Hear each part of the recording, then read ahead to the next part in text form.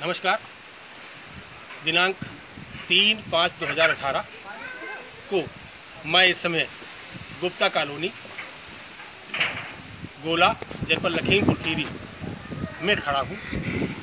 आप हमारे साथ श्रीमती माधुरी अवस्थी जी हैं। आपके द्वारा एक यहाँ पर देवी जी का मंदिर थोड़ा दिखा देवी जी का मंदिर बनाने का संकल्प लिया गया है।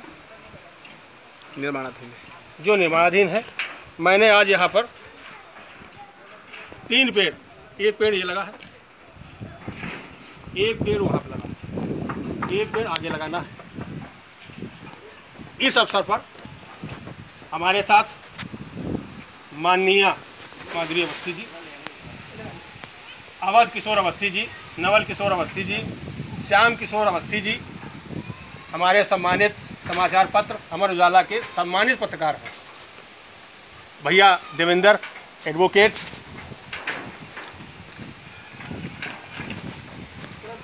संतोष मिश्रा जी। राजेश मौर्य, राकेश मौर्य, राजीव पांडे, बीरू चंद्र प्रकाश जी। मैं आपसे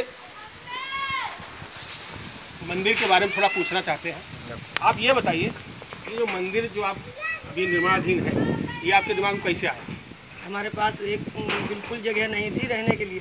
तब हमने संकल्प लिया था कि हमारे जब हमारे पास जगह रहने के लिए हो जाएगी तो हम माता जी का मंदिर बनवाएँगे। और उन्हीं के नौ वर्ष बढ़ते रहते हुए हमारे पास सब कुछ हो गया इसलिए हमने मंदिर बनवाया ये मंदिर निर्माणाधीन है? ये लगभग कब तक बन जाएगा? समय लगेगा समय लगेगा समय लगेगा हाँ। समय लगेगा। उन्नीस तक। अच्छा उन्नीस तक। चलिए बहुत बहुत धन्यवाद।